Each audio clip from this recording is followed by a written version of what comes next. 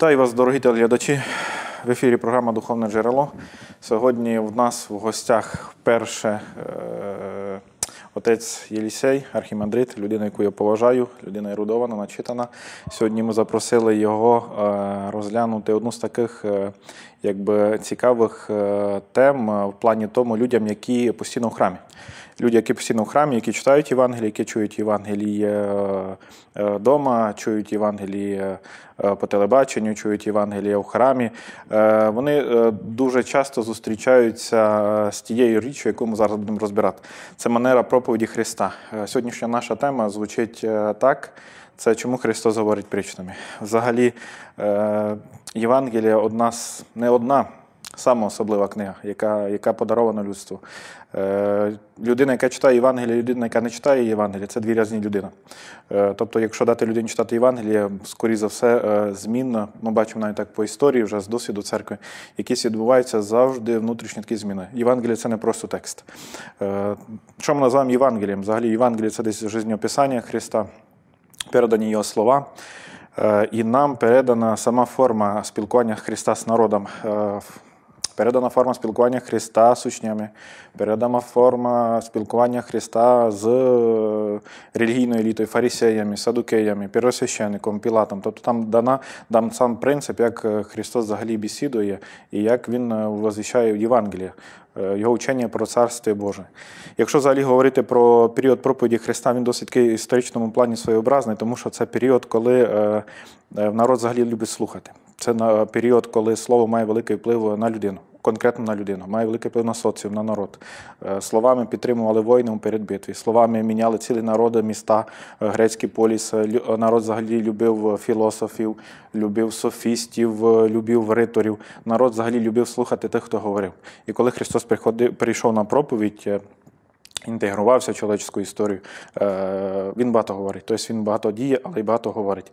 Та якщо ми починаємо розглядати саму манеру його проповіді, вона досить така незвичайна. Здається інколи, що вона досить така слаб... е, не то, що простенька, але колосально глибока. І якби е, про це ми сьогодні хочемо поговорити. Отець Елісей, дякую, що ви відкликнулися на наше запрошення і е, допоможете нам трошки розглянути цю тему. тему чому Христос говорить притчами? Взагалі, е, яка особливість проповіді Христа, коли Він проповідує міру? Чому особливість? Проповіді Христа взагалі дуже багата і насичена.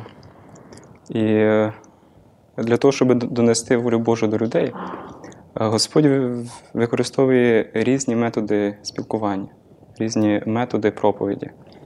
Е, Ми бачимо, що ізначально Господь проповідує в класичному вимірі. Тобто е, Євангеліст Матфей, наприклад, передає найбільш змістовно, по найбільш насичену проповідь Христа це Нагорну проповідь, яку Євангеліст Лука називає проповіддю на рівнині, де вказані основні е, принципи, засади духовного життя, взаємовідносин Бога і людини. Е, І взагалі Господь часто проповідує в класичному виді. Ми бачимо, що це і, наприклад, на таємній вечері Господь бесідує з учениками. Е, Господь часто відповідає на питання людей. Е, Взагалі, коли читаємо Івана, то бачимо, що Спаситель в розумінні того народу, який його оточував, був, е, як ми сьогодні сказали, досить простою людиною. Тобто до нього можна було підійти, задати питання, поспілкуватися. Е, Він був дуже відкритий. І тому ми зустрічаємо часто діалог Христа із оточенням. Наприклад, багатий юнак приходить до Спасителя і каже йому, що що мені робити, щоб наслідувати життя вічне. Тобто це особиста бесіда, хоча і присутність народу. Так само законник е, підходить до Христа, каже, яка найбільша заповідь. Е, Є діалог. Е, Далі Господь часто веде дискусії, тому що е, з, поглядами і з словами Христа часто не погоджувалися. В основному це була релігійна еліта, е, ті люди, які мали свої бачення, свої бачення на взаємовідносини Бога людини. І тому Господь часто веде із ними дискусії прямі. Тобто йому ставлять в укор щось, його звинувачують, чомусь йому приходиться пояснювати, відповідати. Е, Далі Господь дуже часто е, своїм прикладом показує, тобто пояснює. е, також, коли ми читаємо Євангеліє, то бачимо, що дуже цікаву річ, коли євангелісти описують життя Христа, то вони час від часу більше уваги приділяють ділам, ніж його словам. Тобто класичний приклад, наприклад, коли е, Господь призиває учеників, Євангеліст пише, що Господь в той час проповідував на Галилейському озері. І Євангеліст пише, що Господь почав проповідувати, а коли закінчив, то каже Петрові, що відпливи на глибину. І от цікаво, що Євангеліст ні слова не каже про, е, про що Господь саме проповідував, ні, слова не передає в даний момент е, слова проповіді. Тобто в світогляді, в підході, в розумінні Євангеліста діла Христа вони були в даний момент набагато важливіші, ніж його слова. Да, така цікава річ. Його спочатку, наприклад, своїм прикладом показує е, на Тайній вечері. Е, Він говорить, що е, не говорить, а він показує, він бере рушник да, і воду і йде умивати ноги ученика. Тобто це зримо, це видимо, це чітко так е, вкладається, чітко відображається у свідомості учеників. Вони це мали надовго запам'ятати. Тобто Господь дуже по-різному доносить своє слово, Е, слово, слово благовістя, слово євангельське до людей. І ось е, в цьому багато в такій багатоскладовій проповіді ми постійно бачимо притчі Христа. Тобто це і в прямих словах Христа Він часто свої слова підтверджує прикладами життя. Це і в дискусіях із е, книжниками, фарисеями він приводить. І е, взагалі дуже часто він цим користується. Причому настільки часто він говорить, е, говорить проповіді притчі, що ученикам здавалося, що це постійно. Так ми зустрічаємо, да? коли євангелісти передають слова, то кажуть, що Господь взагалі нічого не говорив без притчі. Зрозуміло, що Господь е, так не робив, але при, при, принаймні це було настільки відчутно, що Господь говорив притчами, що вони в такому форматі виражаються, що він взагалі нічого не говорив без притчі. І тому для нас дуже важливо е, розуміти притчі, розуміти е, принципи от, і методи, які Господь використовує в притчах. І на Тайній вечері ми зустрічаємо таку річ, коли Господь говорить ученикам прямо, вже без притч, то це викликає в них здивування. Вони кажуть, що ось тепер ти говориш без притч. Тобто для них це було неприродно, якось неестественно, так що чому Господь так говорить. Це теж такий фактор, який, в принципі, показує, що притчі вони дуже були важливі для Христа, взагалі для учеників, і зрозуміло, що сьогодні для нас це важливо. Бачка, таке питання. Е, Взагалі, чи можливо було б е, передати закон духовного світу? Ну, саме Христа такі слова, що я от е, вишніх, ви от ніжніх. Тобто, якби Господь е, ісхождення було зовсім іншого міра, мір духовний, е, де духовний закон, духовні принципи. Якби тяжко виразимі з е, людської точки зору, з людської логіки, навіть з нашим звичайним якимось розмовним апаратом. Можемо згадати слова апостола Павла, що знаю чоловіка в плоті, в тілі і в тілі, який чув не з глагола, не як глаголу, тобто який, який бачив істини, які не подаються взагалі якомусь окресленню інтелектуальному або ну, взагалі якомусь такому словесному окресленню. Е, Питаннячко от таке взагалі. Чи можна було якимось іншим методом донести до простого єврейського народу? Бо це, по суті, був народ простий, народ землеробів, е, народ, який знав, що таке виноградник, що таке поле, що таке е, загублена овця. Чи можна було, окрім причти, передати от ці істини якось їм? Е, Чи потрібно було все ж таки приложити це щось високе? На таке сказалося б дитячі е, ну, образи, символи, але е, мати ну, якісь духовні істини. Тобто, чи можливо було якось інакше це передати? Чи все ж таки це єдиний такий метод передачі цих духовних істин, небесних істин? Ну, як ви відмітили, це залежить від аудиторії. Господь говорив прямо, наприклад, Господь говорить з Нікодімом, да? це людина освічена була, богослов юдейський. Він говорить з ним прямо для початку. Да? Господь е, так, так казав. Е, Але коли він бачить непорозуміння, да, що не розуміють, тоді він при- при- приводить аналогію. Взагалі, наприклад, Ян Златуст наводить таку думку, він каже, що е, Господь почав свою проповідь із прямих слів. Це думка Йоанна Златоуста. Каже, але по мірі того, він бачив непорозуміння, він вводить притчі. От так характеризує дану проблематику Ян Златоуст. Хоча от дана проблема, коли говорять і не розуміють, вона присутня була і з початку взаємовідносин Бога людини, що в Старому Завіті. Тобто ми бачимо, що Бог старається донести до людей реалії духовного світу. А для цього, для цього буде потрібен досвід. Тобто людина може розуміти такі речі тільки тоді, коли вона з цим безпосередньо якось стикається. Вона є досвід е, бесіди з Богом, е, якесь переживання духовних реалій. І е, тому е, для того, щоб це зрозуміти, Господь е, Спаситель використовує притчі, коли не, не розуміють. Е, Ну, для якийсь банальний приклад, наприклад, якщо людина е, ніколи не пробувала якийсь фрукт, наприклад, ніколи не пробувала грушу, да? і е, вона питає, що це таке, або апельсин. І їй можна якось пояснювати, якісь аналогії приводити. Да? Але в кінцевому е, рахунку це тільки аналогії. Тобто це далеко від реальності. Попробувати і пояснити це, це якби різні речі. І Господь з цією проблемою також стикався. Тобто вона присутня. В Євангелії ми бачимо е, навіть більшість притч вони починаються словами, що е, царство Боже подібно до. Да? А царство Боже, одного разу Христа запитали, коли прийде царство Боже. В розумінні, в розумінні юдеїв царство Боже це був, е, е, воно було в матеріальному вимірі, тобто це було царство земне. А Господь все ж таки він е, під царством Боже розуміє духовні реалії. Коли його питають, що коли буде царство Боже, то Господь каже, що царство Боже не прийде видимим образом. Тобто не можна буде сказати, що воно там або тут, тому що царство Боже всередині вас є. Тобто це той е, процес взаємодії Божої благодаті, Божої сили, Божої волі і е, людської свідомості, людських почуттів, тобто повноти людини, да, і, і чувств, і розуму, і серця. І такі речі, зрозуміло, якщо людина не має досвіду прямого, е, можуть бути е, частково сприйняті тільки через аналогії.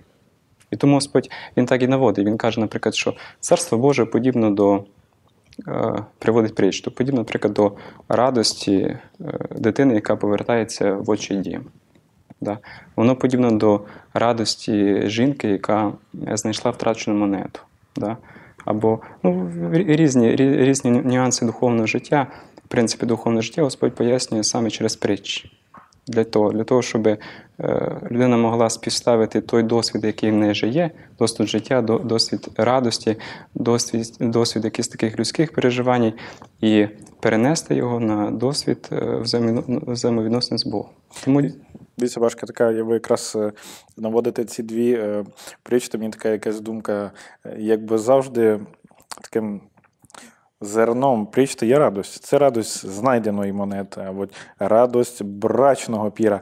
Е, Царство Боже, якби основна, якби основний такий посил е, до чого е, це місто радості. Тобто це місто там, де тебе ожидають, і місто там, де ти маєш бути. Тобто повернення блудного сина к отцу. Радость зустрічі, радость повернення. Як говорить отець старшому сину, що нині радуйся за мною, тому що брат твій був мертв, і він ожив або знайшовся. Якби от цей принцип радості, якось Господь старається отобразити і подати е, народу, поки що царство Боже все для чоловіка це радость. Тобто це повернення у свій ісконний чи желанний стан. В Старому Завіті взагалі в людей було в якійсь мірі е, спотворене, ну, можливо, не спотворене, а неповне розуміння е, природи Бога. Да? Е, е, того, ким є Бог. Да? В Старому Завіті Господь ізначально виступає грозний суддя. Тобто це взаємопов'язано із реаліями того світу. Так, так потрібно було, тому що нрав людей був дуже жорсткий, поступово виховує людей. І перед Спасителем була така задача, щоб донести до людей думку, що Бог це любячий батько. Да, от е, одного вже перед своїм стражданням Господь каже ученикам, що я відкрив вам ім'я Бога. Да? Тобто ім'я Отця. Це той, хто біля нас знаходиться, хто хвилюється, переживає за нас, хто безпосередньо бере участь у конкретному житті людини. Господь не судить якимись такими світ, е, якимись е, загальними такими категоріями. Він постійно дуже так особи, особисто участвує в житті людини. І от ця е, фундаментальна така річ, що Бог це той, хто біля, біля тебе близько, той, хто з тебе переживає, вона важко людям сприймалася. І тому мені здається так, що тому Господь дуже часто він саме цю думку е, передає через те, що говорить про радість, радість притчах. Хоча е, притчі вони е, не обмежуються цим, зрозуміло. Це одна із таких важливих факторів, характеристик притч. Да? Це притчі, які, які вказуються от, духовне життя як переживання радості, такого світлого моменту, от весілля. Ці люди розуміють, що таке весілля це, от, це праздник. Беззаботність. Це період, де приходиш, е, все зробили для твоєї радості. Дивіться такий. Трошки теж одна з думок. Коли Христос говорить про Бога Отця, якби трошки іначе він говорить, ніж єврей. Навіть є фраза така в Євангелії, що іду к е, Богу моєму і Богу вашому, Отцу моєму і Отцу вашому. Якби інакше отцовство у, Христа з Богом Отцом, і інакше отцовство і синівство в нас із Богом Отцом. Коли Христос говорить за Бога Отця, е, що возмущало євреїв або і священничську еліту, там, е, і- Христос говорить до нього м'яко, він говорить йому не просто тату, якби ну, наш з арамейського, да? він говорить таточку, якби дуже такі е, лічностні, близькі відносини, тому що тату це якби формально визнання, а тут є якась ніжність, любов. Тобто, коли Христос говорить за Бога Отця, от є така зберігається, от така якась е, м'яка, лагідна форма. От, е, він звертається до нього дуже кротко, дуже ніжно, як любящому. Це якби показує це, що, як ви говорили, що ім'я Бога Отця це любов, все ж таки, це якісь такі е, радісні, любовні відносини, лічностні відносини. Так, це, це фундаментальна думка. Тобто Христос усунув нас Бог в собі да, через себе. Тому воно присутнє, да, воно е, так проходить через це Євангеліє. Дана думка. Бачка, що таке причта взагалі? Тобто, може, ми так трошки загально, що таке конкретно, що таке причта? Тобто ми загалом може, може попробуємо навіть е, для образності взяти одну з притч на кінці передачі розібрати. Ну, що таке як жанр, як е, спосіб, що таке причта? Е, Як жанр, як література форма це історії життя, реалістичні історії, під якими, де під буквальним змістом, прямим змістом, постійно є духовний текст, підтекст духовний. Тобто за прямим реалістичним є е, містичні реалії, реалії духовні реалії. Е, Це певний такий жанр, через який Господь в Євангелії да, він описує духовний світ, якщо ми говоримо. Тобто будь-яка причта вона е, має як мінімум два рівні. Перший це прямий буквальний, і далі це духовний містичний. Якщо так подивитися по євангельській притчі, можна взяти для прикладу притчу про милосердного самарянина. От буквальний смисл такий, що людина йде з Єрусалиму, спускається в Єрихон, по дорозі попадається розбійникам, да, які е, пограбували, розділи і збили, залишили полуживим. Да, і біля неї проходять кращі представники тогочасного світу, це священник Левит, проходять мимо. А людина, яку презирали в тогочасному суспільстві, ну принаймні там, де Господь проповідує, в тому е, да, на народі, саме він проявляє милосердя. Самарянин. Да, самарянин проявляє милосердя. Тобто прямий буквальний зміст в тому, що ближнім є всяка людина, кожна людина. Да? Е, Це прямий зміст такий. Якщо брати духовний зміст, то є багато, знову ж таки, багато е, коментарів святих отців, і найбільш такий яскравий можна взяти алегоричний духовний, як взаємовідносини е, душі і Бога. Да, от можна отців такий коментар, коли кажуть, що От під е, цим чоловіком, який попався розбійники, розуміється людська душа, яка йде із Єрусалиму, е, спускається верхом. Єрусалим, взагалі, в е, біблійному розумінні це місто святе. Да? Тобто це єдине місто, де знаходиться храм Божий, а храм Божий це місце присутності особливої Бога. Да? Навіть Господь каже Спасителю в Євангелії, що е, не клянись Єрусалимом, тому що це місто святе. Господь називав Єрусалим своїм городом через те, що там була особлива така присутність Божа в храмі. Вона і навіть явно виражалася. Там були такі речі, які явно вона проявлялися, да, і при освяченні, і пізніше на протязі історії. Тобто Єрусалим це святе місце. Да? Це місце е, перебування Бога. Коли де людина перебуває з Богом, місце життя душі і Бога е, в єдності. І людина відходить від цього стану. Да? Вона спускається в Єрихон, е, так, в географічному плані це якраз так і було, вона йде вниз, іде в Єрихон. Єрихон- це місто гріха. Тобто в Старому Завіті е, воно було е, прокляте Богом, да, під- під- підпало під прокляття. Тобто воно, навіть якщо дивитися строго, його не, можна було, було відновляти. Юдеї зруйнували його. Тобто це явно образ такий гріховний в свідомості тих людей, які розуміли. Тобто вони всі, це бачили, і в принципі це було не- для них ясно, тих, хто слух Христа. Людина відходить із міста святого, від Бога йде в місто гріха. По дорозі вона попадається розбійникам, тобто злим духом, які е, пе- їй рани, вони приносять біль да, через гріх. І е, допомогу при, при, при, передає саме самарянин. Тобто в лиці самарянина святі отці постійно бачили Христа, який при, при, приходить, приводить, е, да, е, привозить е, даного хворого в гостиницю, під нею постійно розуміли церкву Христову, де людина через гостиницю, через Христа отримує зцілення. Тобто явно такі дві лінії. Одна буквальна, пряма милосердя. Да. Потрібно до, до всіх проявляти милосердя. Інше це, що показується, що людина зцілення може отримувати через благодать Божу. Тільки Христос Він дійсно може е, повернути той первостанний стан, який людина мала в Єрусалимі. Бачка, одне доповнення, дуже красивий образ е, Єрусалима і Єрихона. І там є така е, особливість е, в оригіналі Євангелії, там не пишуть, що людина йде в Єрусалим, вона піднімається в Єрусалим. Тобто е, ходьба в Єрусалим це завжди підняття, духовне восхождення. А коли людина йде з Єрусалим, кажуть, іде з Єрусалим, а спускається з Єрусалим. От до вашої думки, що дійсно для євреїв е, тогочасно Єрусалим людина не просто йшла, вона восходила. Восходила в фізичному плані, піднімалася на возвишеність, але й духовно. Тобто, якби показано, коли людина вже йде з Єрусалима, це вже снісхождення в духовному плані. Ну, Тобто е, це падіння. Е, Тепер дослідуючи питання, Бачка. Як народ реагував на притчі Христа? Наприклад, проста єврейська жінка, простий єврейський рибак. Як вони реагували на притчі Христа? Е, Свойственно їм було допитувати про їх значення, чи вони зачасту вже розуміли це. Бо десь ми бачимо по Євангелії, що навіть учні е, говорять Христу, розкажи нам притчу про сіятеля, тобто роз'ясни нам, е, чи- завжди народ розумів е, ту істину, яку Христос доносив? Чи все ж таки були такі випадки, що навіть е, приходилося ще дороз'ясняти е, в буквальному плані? Для початку треба сказати, що народу було цікаво. Да? Тому що е, ми це бачимо. Навіть ми зустрічаємо е, такі речі, коли Господь наситив да, тисячу людей, то сказано, що вони декілька днів були біля Христа. Це пустиня. Да? Тобто там нічого, чим він, він, їх зацікавив.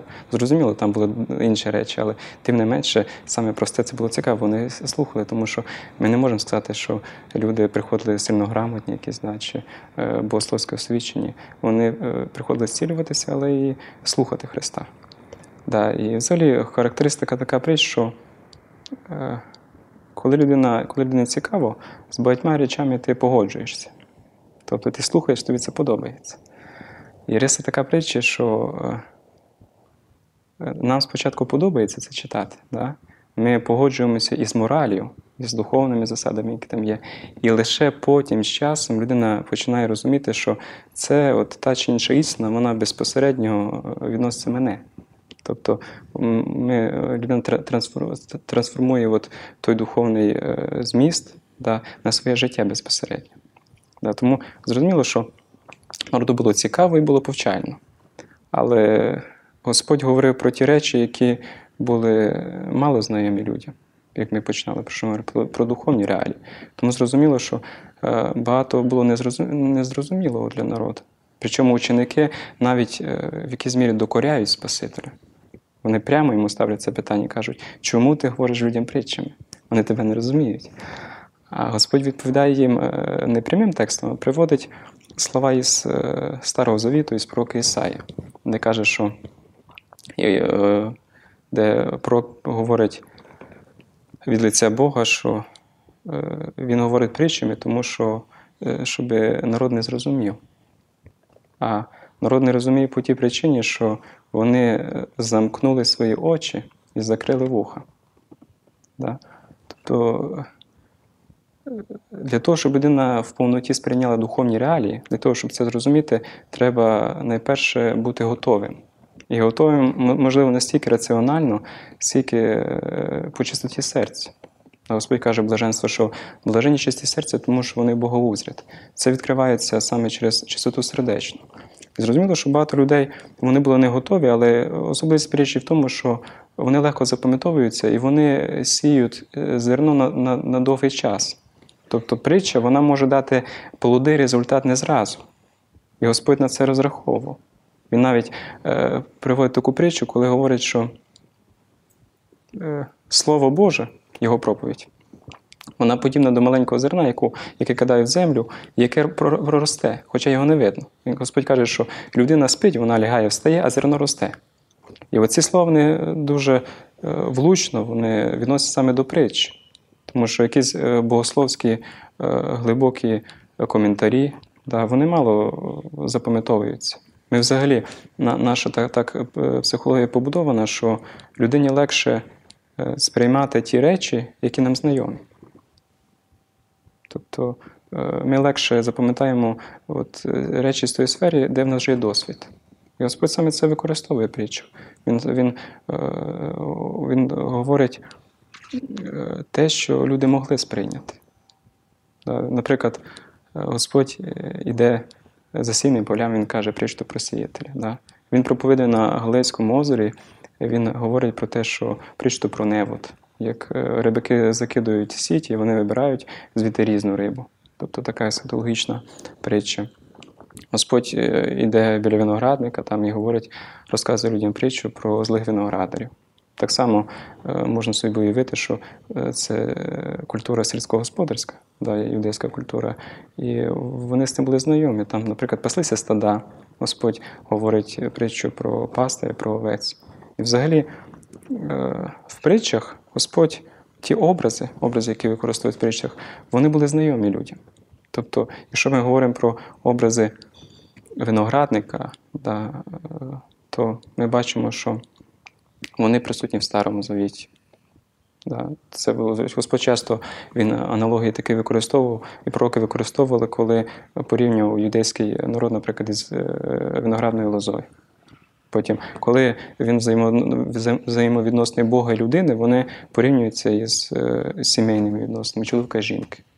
Да, там, народ е, юдейський, як ізраїльський народ, він часто так образно прокаже, що впадає в блуд, як, як народ. Да, тобто е, ті образи, які були знайомі людям, привичні, вони Господь ними і користується. І це бачка, два питання. Одне доповнення, два питання. Давайте по, по питанню. Е, є дуже така е, образна і візуальна притча. Це притча про виноградник, про який ви говорили. Коли е, Христос говорить, уподобися царстві Боже чоловіку, царю, там, який насадив виноградник, оградив його, поставив точило, дав його виноградарям, і далі посилає своїх слуг сам відходить і посилає своїх слуг во время плодов, бо взяти часть від е, свого ж виноградника. Якби там по історії притчі е, діє така досить, як сказати, агресивна, жорстка. Е, Ті, хто служить винограднику, це священники, первосвященники, релігійна еліта, вони не приймають слуг господаря, тобто ми розуміємо пророків, старозавітніх пророків. Він посилає сина свого, е, каже: устадяться сина моєго, тому що його достояння, і йому дадуть е, якби, плоди від е, виноградника. Та ділателі і сина не устадяться, побивають його, додає прообразність своєю смертю за Єрусалимом, тому що говорить, що син побитий вне виноградника, і Христа розп'яли якби вне Єрусалима, вне виноградника. І от кульмінаційна думка: Христос вопрошає народ, не дає висновок притчі. Він говорить, що зробить господар виноградника, коли прийде. Якби він підводить народ, дає образність, дає ідею, дає ситуацію, показує нравственне состояння тих, хто возділає виноградник, якби злих виноградарів, показує состояння слуг, показує сина. І показує дію столкновення, правди і неправди, завісті, е, якби. Але сам висновку притчі не дає. І говорить, що зробить господар виноградника, коли прийде. Якби дає він е, цілому народу е, їм розмишляти висновок же ж який, чому Христос отак підводить народ І каже, а ви дайте висновок цим діям. Якби показує образність, ту ситуацію, яка ж, в принципі, созрівала у період проповіді Христа, неприяття його як е, е, Сина Божого, неприяття пророків, як е, проповіднику і звістителю, е, недостойне ставлення священства до виноградника, до народу, який, який би мали принести плоди дали. Але все ж таки дає висновок дати народу. Чому так Господь от, якби сам не, не, не довершує цю притчу, а дає народу, що от ви дайте. Ця притча вона є унікальною.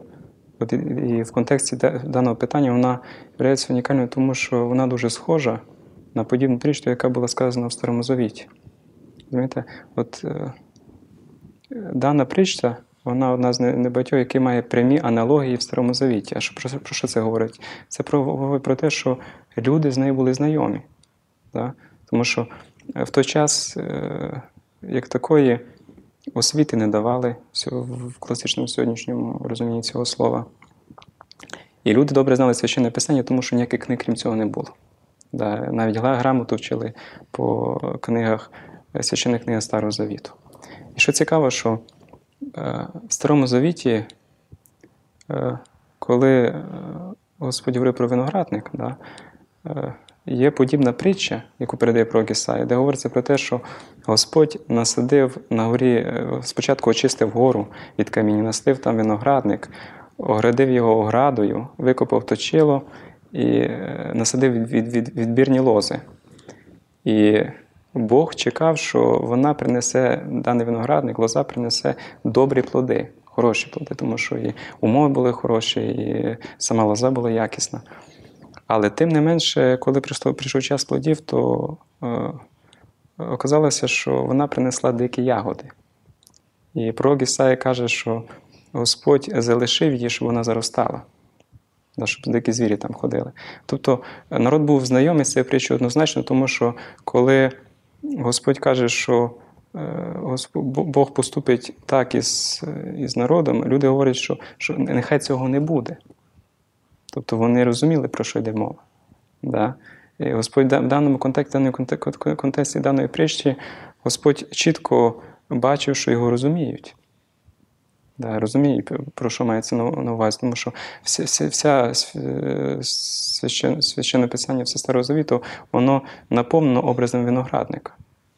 Ми бачимо, що коли Господь говорив притчу про е, злих виноградарів, то народ його прекрасно розумів.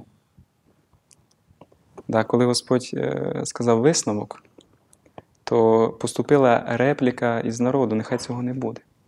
Тобто народ прекрасно розумів, що Господь говорить, а розумів тому, що аналогічну притчу вже була, притча була розказана в Старому Завіті про Комісаї. Да, ви, ви перечисляли сюжет, наводили сюжет, де е, є хазяїн, де є робітники, які не дають плода. Да, вони не віддають плод. А в Старому Завіті про Ісая наводить аналогічну притчу, тільки трошки різниця в тому, що там сказано, що Бог очистив гору і настив там виноградник. Під виноградником всі розуміли юдейський народ.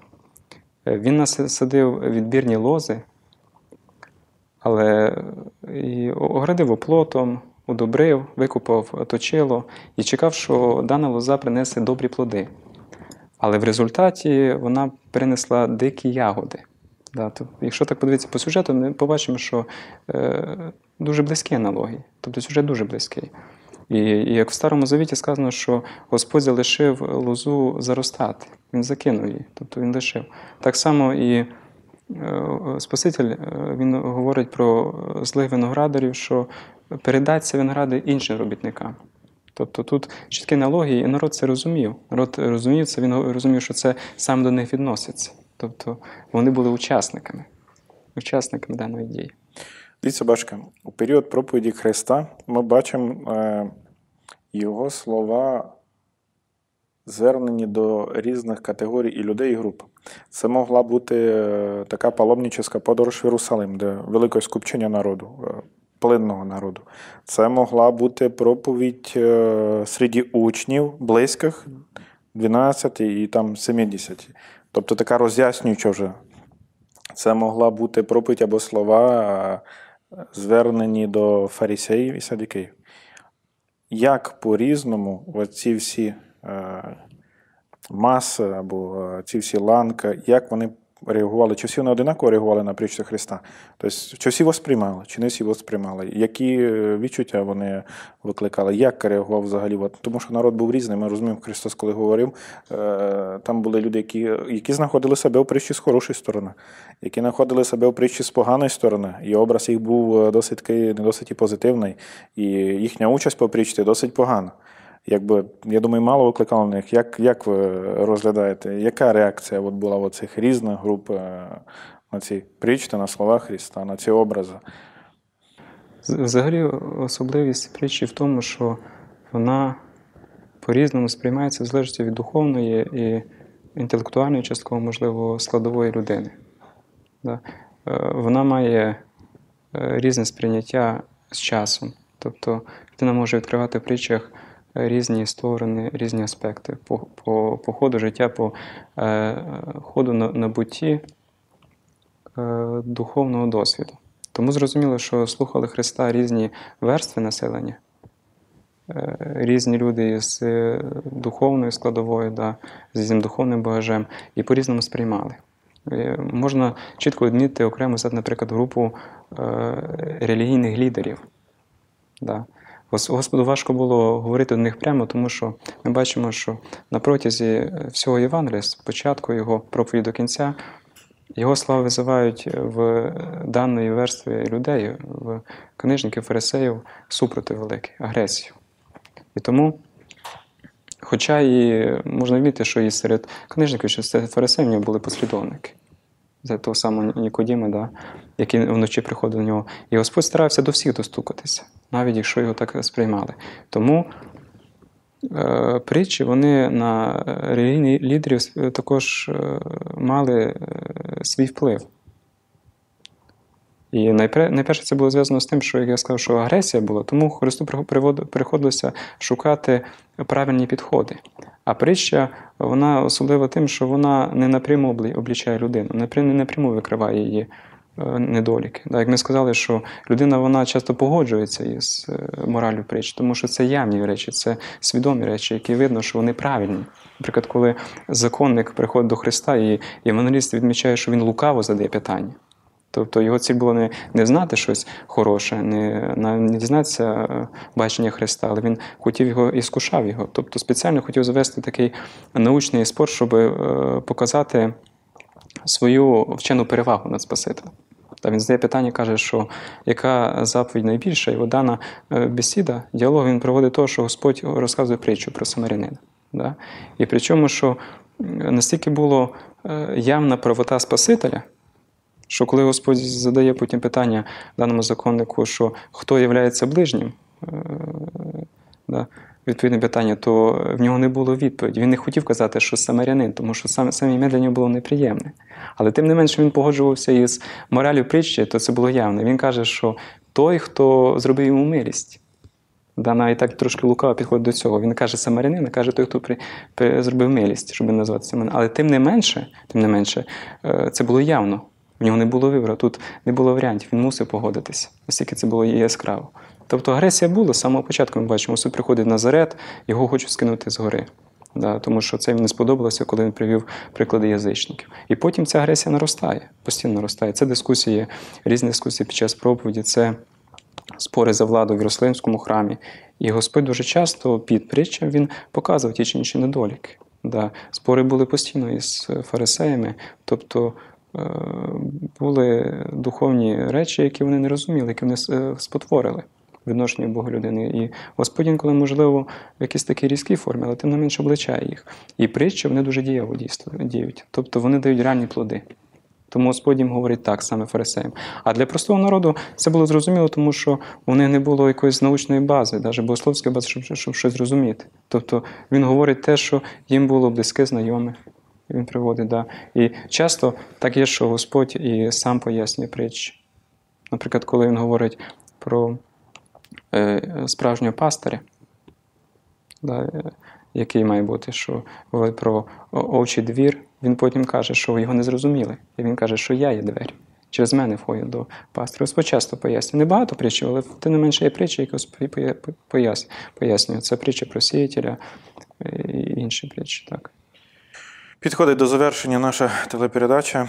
Дякуємо, отець Елісій, що ви відповіли на наше запрошення. Надіємося, що не остання наша зустріч. Я буквально на завершення дві, е, дві слова, дві думки такі.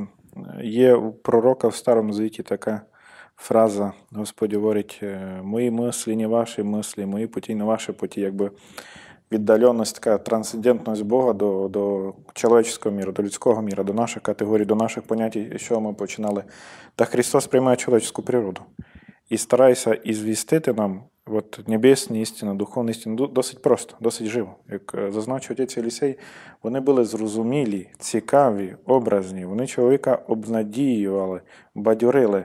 Вони не казалися чимось сложним і неймовірним. Ти навпаки тобі здалося, чітко розумієш, що тобі треба робити, де ти знаходишся. Та, дорогі брат, сестри, проблема в тому, е, людина має з цього черпати. Тобто Господь зробив максимум, що можна було дати. Тобто упростив до максимуму, е, як нам це і звістити, як нам це передати. Е, Нам же ж треба якось реагувати на це. Нам треба. Е, я не буду говорити конкретно про притчі, тому що притчі це якби лише одна з галузь проповіді Христа, е, яка зустрічається в Євангелії. Нам взагалі треба читати Євангеліє. Е, Через Євангеліє ми багато чого бачимо як лічність Христа. Нам простіше пізнати. Нам простіше воспламняти нашу віру через Євангеліє. І нам досить такий красиві образи ці притчі показують, наскільки Христос лагідний все ж таки до народу. Христос не любить лукавство. Тобто, якщо дивитися по мірі проповіді Христа, Христос не робить лукавство і обман. От, от притворничество. А от е, простому народу, іскренньому народу, який іще Бога, який хоче йому годити, Христос досить такий простий і лагідний. Через Євангеліє це дуже красиво розкривається. Христос використовує ці прості форми притч, образів, бо нам було зрозуміло, і зато, по суті, нам зрозуміло. І церква віками, тисячоліттям нам це все об'яснює і якби доносить, рожу, як маленькій дитині. Е, Тому мусимо з цього щось взяти. Тому що просто внімати як, як толпа і не робити з цього ніякого висновку. Ми подобаємося фарисеям, садукеям, які остаються на тому духовному рівні, як отець Елісей казав, е, але е, якби пробуждення нема. Ми мусимо трошки пробуждатися через ті притчі, мусимо трошки щось е, знаходити себе і починати якусь нашу таку духовну життя, внутрішню життя, життя церкви, життя Євангелія, життя з Христом. Возможно, воно звучить так трошки загально, але ну, якби в цьому суть чоловічської житті. Lord.